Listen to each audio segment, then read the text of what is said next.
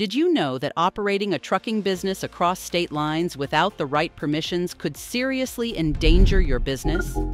Today, we are going to explore everything about MC Authority, explaining what it is, why it is so important, and how you can get it easily.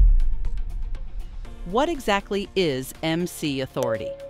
Essentially, it is the commercial lifeline for your trucking business, acting as a federal seal of approval for carrying goods or passengers across state lines. Operating across state lines without an MC number is not just risky, it is illegal. This number proves you adhere to federal regulations, which is crucial for avoiding hefty fines and legal issues. If you are in the business of interstate trucking, whether it is hauling freight or carrying passengers, or even if you are a freight forwarder or a broker, you need this number. It is your ticket to legally expand your operations beyond your home state. Now let us talk about the application process. It might seem daunting, but it is quite manageable if you know what to expect. First, ensure your business is properly set up, whether it is a sole proprietorship or a corporation. Next, you will need a USDOT number, which is like your business unique ID for all vehicles. This is a must-have before you can even think about an MC number. After you have secured your USDOT number, you can proceed to the actual MC Authority application.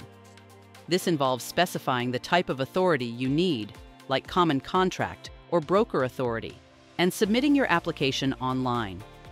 Remember, each type of operation might require a different authority type. One crucial step post-application is filing the BOC3, or Process Agent Form. This form is essential as it designates a legal representative in every state you operate in. Do not forget about the Unified Carrier Registration and paying the heavy vehicle use tax. Typically, it takes about 20 to 25 business days to get approved, but you should keep an eye on it to catch any possible issues early. Remember the biennial update requirement, which means updating your USDOT number every two years, even if your details have not changed.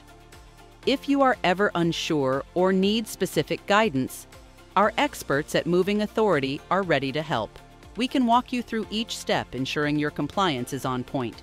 You can reach us at 702 333 2430 or visit our website movingauthority.com. If you found this information useful, please like this video, subscribe to our channel for more updates, and share your questions or experiences in the comments below. Moving Authority Association. We have been helping people in the trucking industry for over 20 years. Let us help your company today by calling 702 333 2430 or visit movingauthority.com.